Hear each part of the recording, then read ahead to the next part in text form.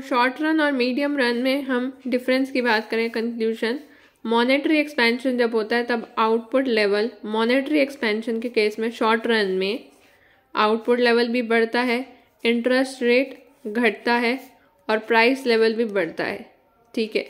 Monetary expansion पर medium run में monetary expansion में आउटपुट लेवल में कोई चेंज नहीं होता इंटरेस्ट में भी कोई चेंज नहीं होता प्राइस लेवल तो बढ़ता ही है मॉनेटरी एक्सपेंशन में दोनों केस में।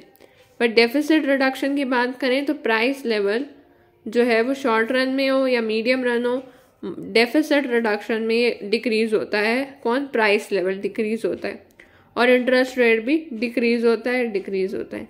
और आउटपुट लेवल डिक्रीज होता है शॉर्ट रन में मीडियम रन में तो कोई इफ़ेक्ट होता ही नहीं है आउटपुट लेवल पे। ओके